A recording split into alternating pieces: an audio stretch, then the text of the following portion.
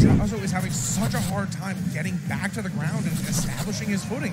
Teaser is just abusing him for trying to land in a nuke in any ways. It feels like every option is covered by Teaser.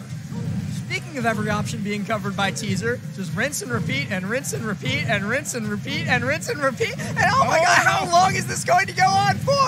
Oh, Let no, him down. Has a family, please. Up you go.